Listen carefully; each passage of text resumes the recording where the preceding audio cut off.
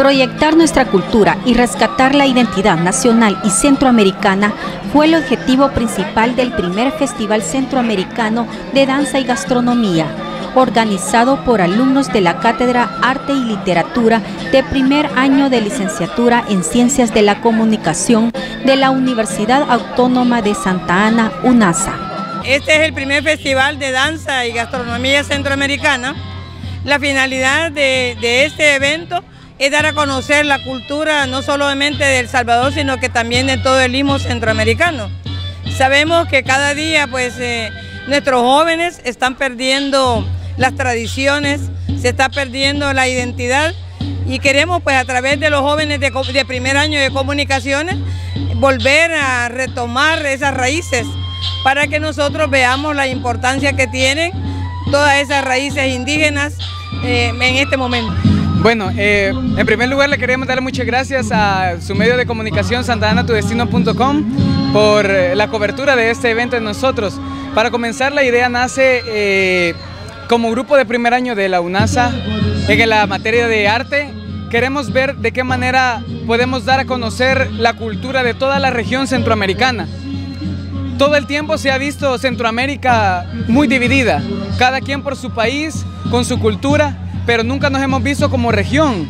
Entonces la idea de este festival es conocer la cultura, la gastronomía, la danza, lugares turísticos y todo aquello importante que, con el que cuenta cada país de Centroamérica y formarlos como una sola región en la que pertenecemos nosotros como El Salvador. La comida típica de cada uno de los países de la región, así como información turística y diferentes aspectos de su cultura, fueron mostrados al público asistente quienes además degustaron del exquisito sabor de los platillos de los países centroamericanos. A nuestros visitantes les estamos ofreciendo comida típica de nuestro país, que es El Salvador. Hace poco, hace unos minutos, tuvimos acá una degustación muy rica donde tuvimos tamales. Estamos vendiendo pupusas también. Tenemos horchata y quesadilla y pues realmente se ha llenado de mucha gente, nos, sorprende bastante porque hay mucha gente que se ha acercado a, a, comer y pues les ha encantado la comida y es algo que a nosotros nos satisface como estudiantes de la universidad. Estamos ofreciendo información sobre los lugares que están aledaños acá, como lo es Villa Morena, que es un sitio donde se hacen muchos eventos culturales, ¿verdad? Aparte hay mucho, eh, muchos restaurantes de comida y estamos ofreciendo boletines para que ellos puedan asistir también a Villa Morena los fines de semana eh, y pues estamos brindando información de lo que es nuestro querido país El Salvador. El país que estamos representando nosotros es el país de Nicaragua. Este país es uno de los países más cercanos a El Salvador y que acá nosotros lo estamos representando con el turismo, con la gastronomía y con el escudo y el ave nacional. El platillo número uno sería este, que ese rondón es como una crema, para nosotros un atol hecho a base de leche de coco, que lleva plátano verde, jalapeño, yuca y costilla ahumada, siempre teniendo en base la leche de coco que tiene que predominar el sabor. El segundo platillo sería el gallo pinto, como se conoce aquí en Oriente del país, pero los nicaragüenses tratan de incluir el plátano, ya sea verde o maduro, en todas sus, en todas sus comidas. Entonces este platillo está hecho a base de frijoles, arroz y plátano, ya sea verde o plátano maduro, con cebolla gaucha. Y el tercer plato sería el nacatamal, que es uno de los platos típicos de Nicaragua también, así como nosotros tienen, tenemos los mismos gustos.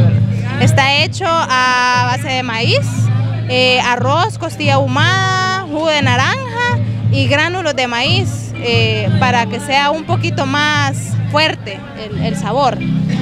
Nosotros esta mañana estamos ofreciendo lo que es degustaciones de las comidas típicas de Honduras. También tenemos el mapa de Honduras, como pueden observar. Tenemos el mapa para que quien desee visitar pueda ubicarse mejor. La comida típica de Honduras es la respectiva sopa de mondongo y la baleadas, la sopa de mondongo que consta de este, tripa, de, tripa y patitas de cerdo.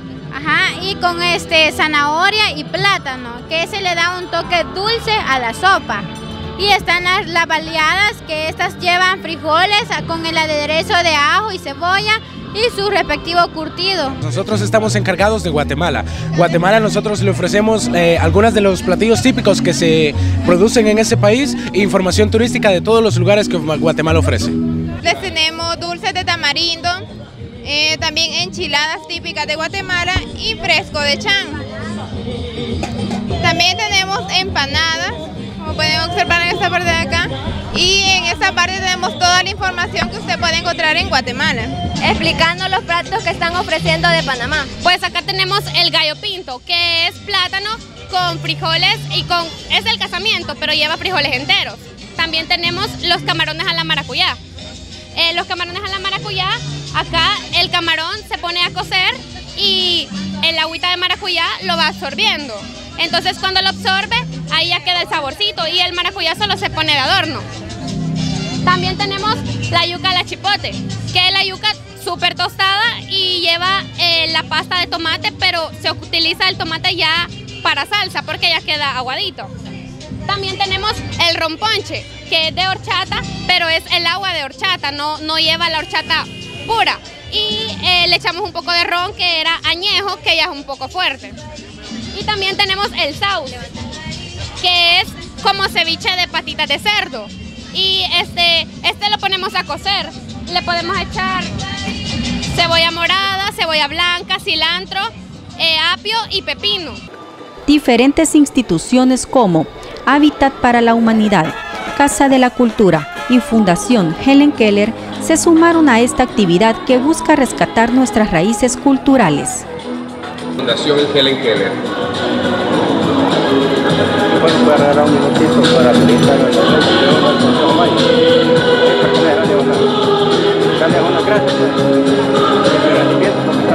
Los visitantes, por su parte, ven con buenos ojos que las universidades realicen este tipo de actividades, ya que fomentan la cultura y el arte de nuestros pueblos, logrando así un equilibrio entre nuestra cultura y las influencias externas para no perder nuestra identidad.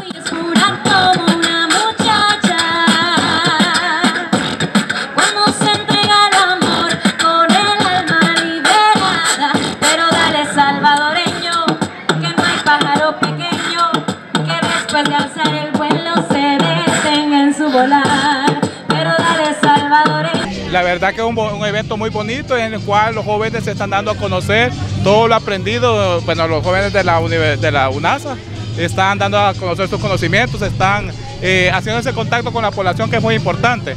Eh, este tipo de actividades de verdad deberían de hacerse constantes porque te permite tener ese acercamiento tanto eh, la juventud con la población, bueno, las personas en general, ves lo que está pasando en las universidades de nuestro país, de nuestro departamento y de verdad felicitar por la iniciativa que tienen, eh, invitarlos a que continúen haciendo este tipo de actividades, no solo acá en el parque, lo que qué bueno sería que a nivel del departamento de Santa Ana podamos hacer otro tipo de, actividades similares, que se esté promoviendo las culturas de otros países y también muy importante que se promueva la cultura nuestra de El Salvador. Aquí yo soy Consejo Maya, pertenezco, soy un tata de los consejos, represento a la, a la tribu Maya. ¿A la tribu Maya?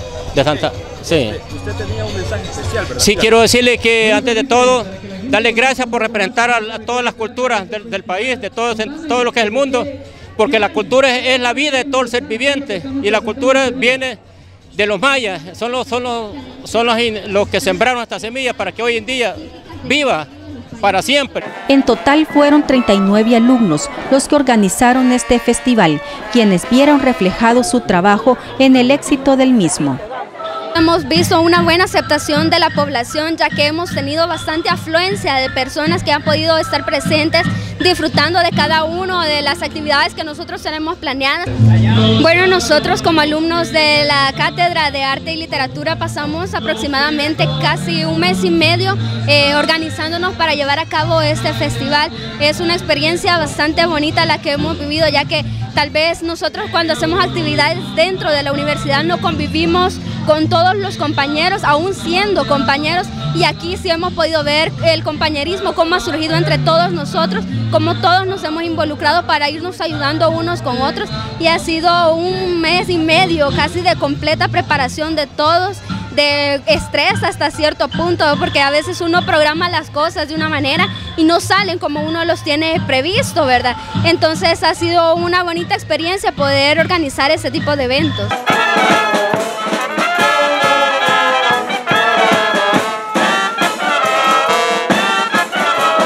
Con imágenes de Santiago Ayala, informó para Santa Ana TV Digital Areli Parada.